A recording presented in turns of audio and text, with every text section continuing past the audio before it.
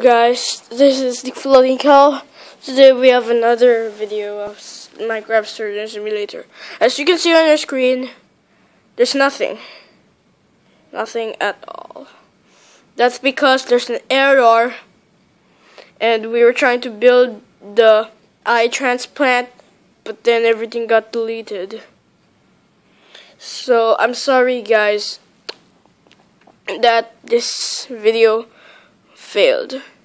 So, also I th thought that Simulator is not such a good idea to do in Minecraft Pocket Edition.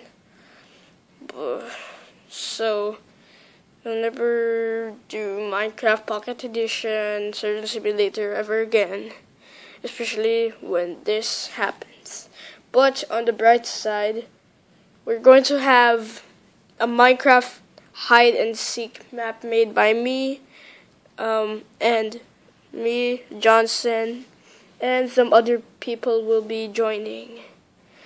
So, yeah, this is a whole, whole plane of nothingness.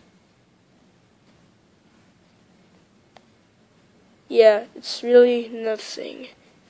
Cannot do anything. Cannot even place a block. It's not worth it. But I just recorded this video to let you know that we cannot do Minecraft Pocket Edition Surgeon Simulator again due to difficulties and errors and stuff. So, uh, leave in a comment what other kind of game you want me to play in Minecraft Pocket Edition. I might at least download a map instead yeah, I'm tired of doing custom maps. But the hide and seek Minecraft map, I'm still working on it. So that's the only custom map that I'll be working on.